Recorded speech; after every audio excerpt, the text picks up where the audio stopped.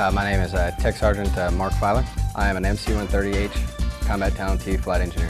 What I like about my job in serving in AFSOC includes working with top-tier users, conducting infil-exfil operations, emergency resupply airdrops, and having the ability to directly affect a battlefield. AFSOC MC-130s are a derivative of the C-130 Hercules, highly modified for special operations. The mission of the aircraft involves a global day and night adverse weather capability to insert, extract, and resupply special operations forces by low, drop, or airland operations.